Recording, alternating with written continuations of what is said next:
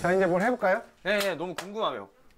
우리 와이프가 또, 우리 와이프가 또, 파스타 중독자거든요. 파스타 중독자거든요. 아 파스타 갑니까? 네. 파스타면 더 많던데. 파스타 많아요. 우리 집 파스타가 많아요. 아니 이거 파스타는 한 번 배워놓으면 평생 가니까. 그러니까요. 그렇지. 제일 쉬운 버전으로 분식에 맞는 파스타 조금 자, 쉬운데 그럴듯한 거. 오 어떤 파스타 나올지 기대됩니다. 어, 어, 어 치즈 있네. 마늘, 마늘, 올리브 오일. 올리브 오일, 예. 요거 쓸 거고 소금. 소금, 그리고 아 여기 있구나. 뭐 좀 있네. 페페론치노. 요것만 있으면 돼요. 저거면 돼요. 이, 이거만 있으면 돼요. 아주 간단해요 지금. 정말 간단하네. 일단 파스타의 제일 기본 중에 기본이 알리오 올리오죠. 알리오 올리오는 그 올리브 오일에 올리브 오일. 아 알리오 올리오. 알리오. 알리오? 마늘, 네. 올리오 오일. 마늘 오일이에요. 그게 쉽고도 어려워요, 사실은. 간, 간을 정, 어, 정석대로 만들면 조금 어려울 때가 있어요. 아, basic한 게 가장 어려운 거예요. 맞아요. 제일 좋아하는 게 알리오 오일. 마늘 기름을 내다가 면을 넣고 면수를 넣고 두 개를 섞어주면 돼요. 그걸 끝이에요, 원래는. 근데 제가 만들 거는 다 한꺼번에 넣고 졸일 거예요. 다 한꺼번에 넣고 졸일 거예요. 아, 한 팬에 갈 거니까 하나만? 어, 너무 좋아요. 아 원패. 역시 원팬. 너무 좋아요, 너무 좋아요. 간편해, 간편해.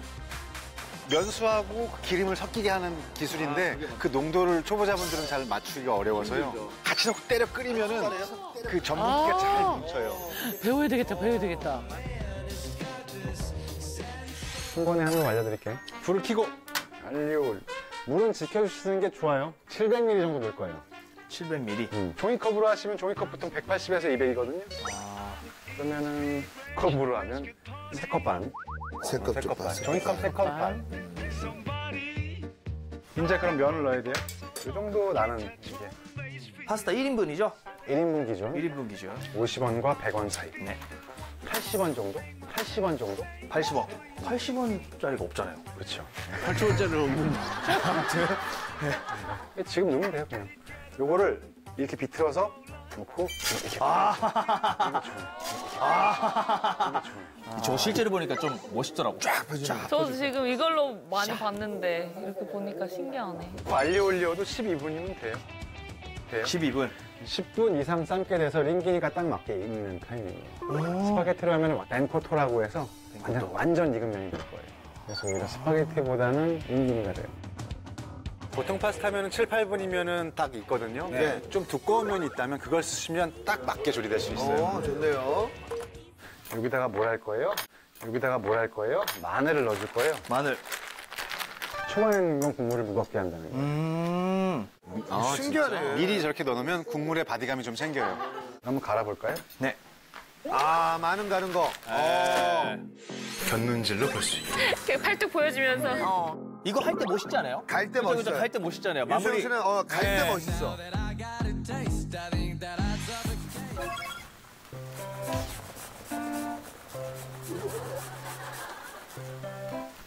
멋있게 해보세요. 멋있게요? 좀 팔을 쭉 펴고. 쭉 펴고. 아, 너, 이, 이, 이쪽 팔을 쭉 펴고. 아, 이쪽 벌어. 얼굴 측면이 보이게 하세요. 측면에 매일 하던 것처럼. 네? 매일 하던 하는 것처럼. 네, 매일 하는 것처럼.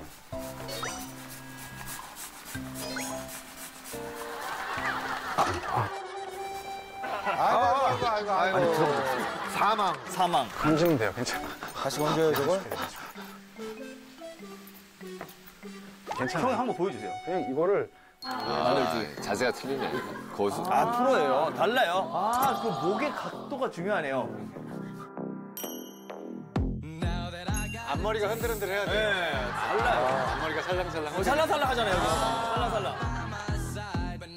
이렇게 하지 않고 고 이렇게, 이렇게 하지 않고 고 이렇게. 너무 꺾었다. 뭐, 뭐, 이, 이쪽 팔을 쭉 펴고 이렇게, 어, 이렇게 얼굴 측면이 보이게 하세요. 아, 이렇게 해야 멋있네. 목을 많이 꺾어야 돼. 멋있네. 목을 많이 꺾어야 돼. 아, 목 아파 보여요. nice. 목이 아파. 잘못 잤나 봐. 턱선을 잘 부각시키는 게 중요해요. 고개를 한쪽 꺾어야 돼요. 그렇죠? 이렇게. 그러니까 좀 고개를 꺾어야 좀 돼요. 꺾어야 돼요. 어, 이제 지금 멋있죠? 네. 어, 지금 괜찮아요. 아니 강남은 뭘 해도 어젯밤에 잘못 잔 것 같은데요. 이렇게 좀 멀리 멀리 해서. 알리오는 넣었잖아요. 마늘은 넣었잖아요. 그럼 올리브 오일 넣어요. 여기 지금 넣어요? 올리브 오일 넣어요. 여기 지금 넣어요?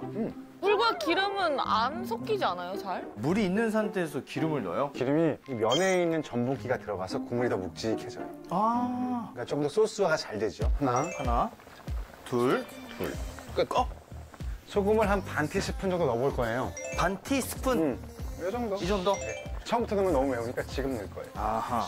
뚜껑 닫으시는 분들이 있는데 뚜껑 닫으면 큰일 나는 거 아니에요? 아니, 뚜껑 닫으면 국물이 안 날아가요. 그러니까. 굳이 다 닫을 필요 없어요. 이때쯤 되면 불을 한번 줄이고 네. 마지막에 이게 중요해요.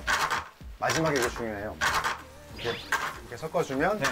더 이제 전분기가 튀어나오면서 국물이 네. 걸쭉해지겠죠.